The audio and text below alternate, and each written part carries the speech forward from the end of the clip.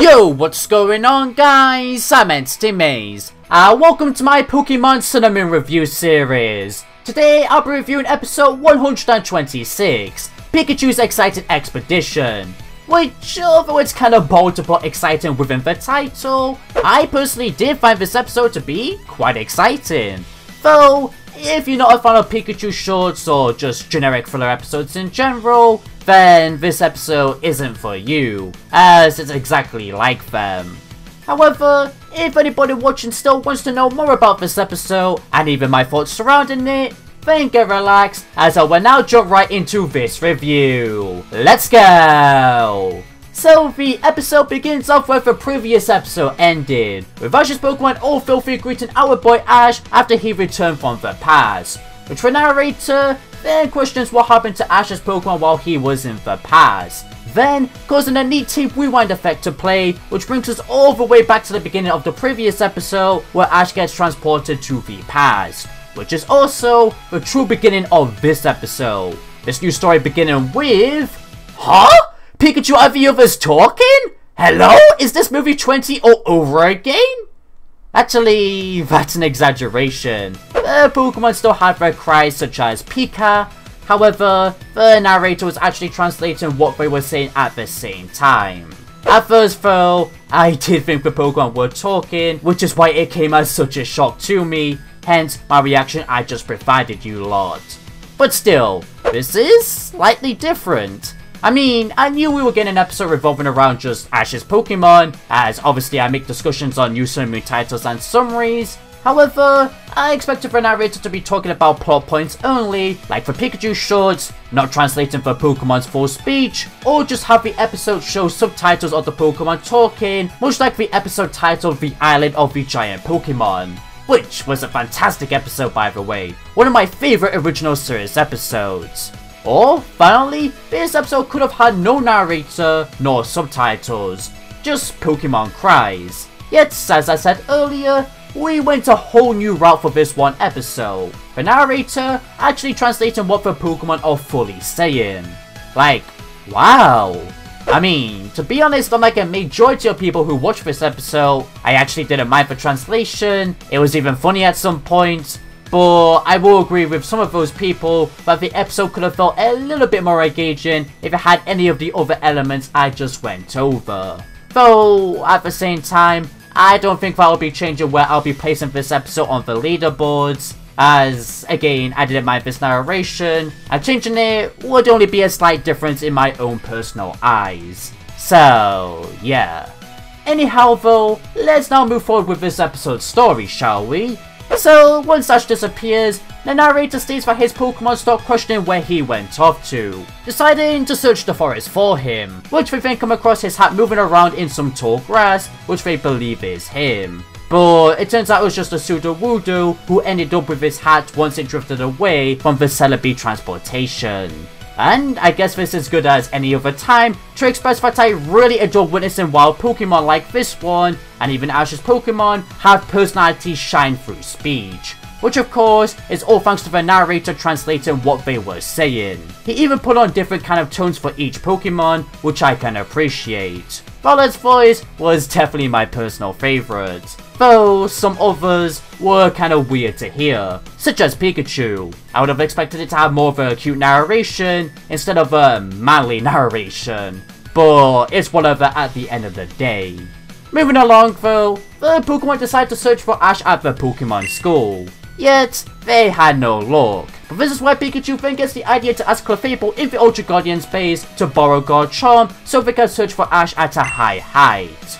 But before we get to ride Garchomp, they even learn that the Meltans are multiplying once again. There being 60 in total now as opposed to the original 20. What on earth is going on? Even Clefable doesn't know where these Meltans are coming from. Are there more boxes of Meltan Alpha or something? Whatever the answer is though, it looks like we're gonna get that answer after the league, due to the next episodes after this upcoming Lillie episode being dedicated to the league. If for sure then leading into some kind of arc or something like that, which then may give us the debut of Melmetal, which will be cool. Putting those motives aside though, once our Pokemon ride Garchomp, Garchomp, with a very fitting personality, don't complain if I go too fast, takes our Pokemon to Mount Lanakila due to that being the highest location in Alola, which is perfect for trying to spot something or somebody. Garchomp then flying home due to its skin not liking the snow.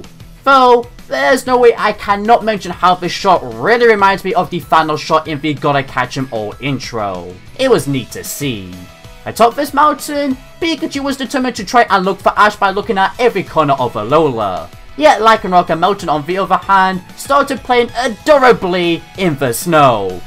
Oh my god, I can't. That is cuteness overload. Like, oh my god, why does Sun make all these Pokemon look so darn cute? Soon, all Pokemon decide to snowboard down the mountain to try and find Ash which was very reminiscent of the snowboarding scene from Pikachu's winter vacation, which coincidentally, both of those scenes were animated by the amazing Misaki I1. Excellent work my dude, both were very fun to watch. In fact, it was at this moment in time that I realized I was smiling throughout this entire episode so far, and that is simply because it's such a wholesome, fun episode, much like all of those Pikachu shorts back in the day.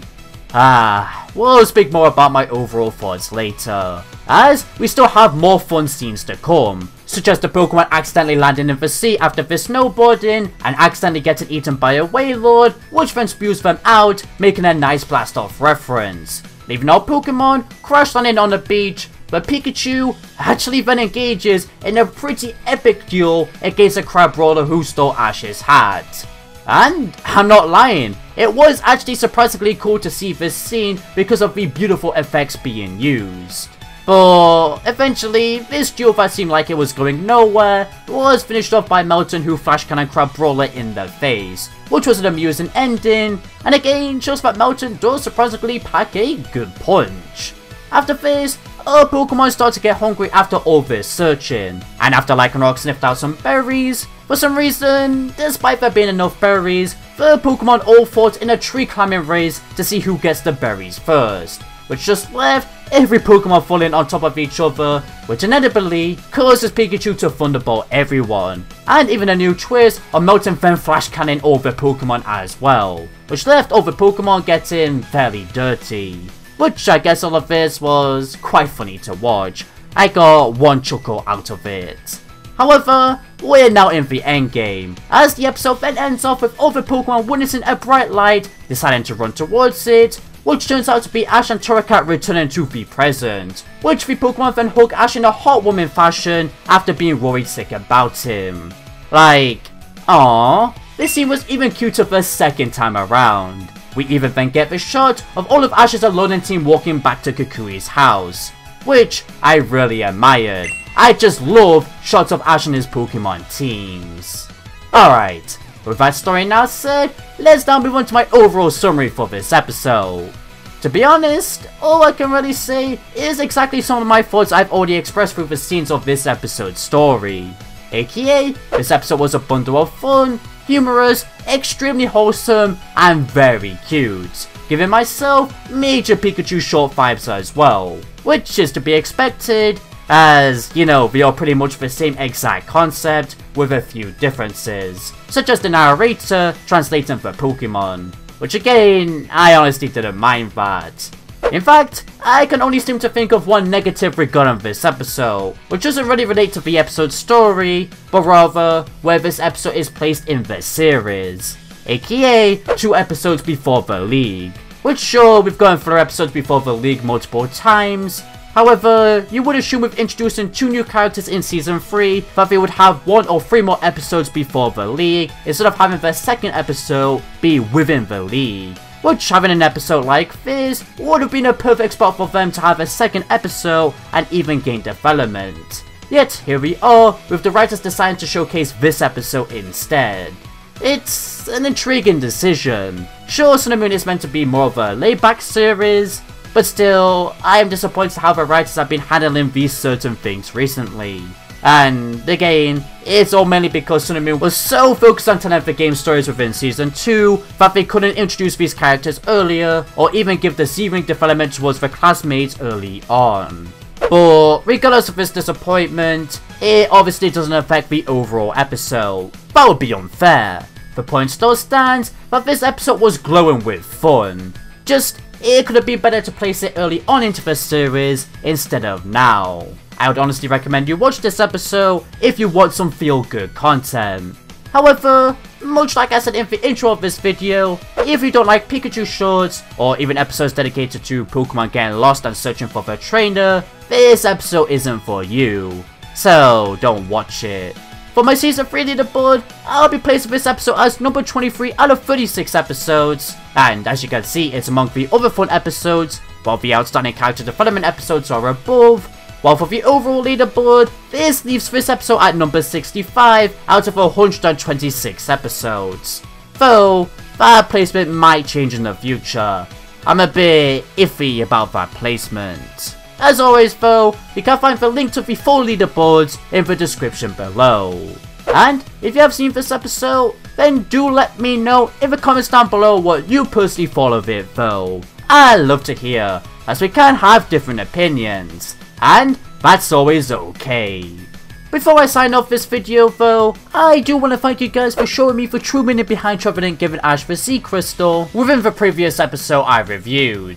I had completely forgotten that the Pokemon were watching Ash use Inferno Overdrive the first time around. This is why I like my community, we always help one another out. Thank you. Now that you've heard that though, I can now sign off this video.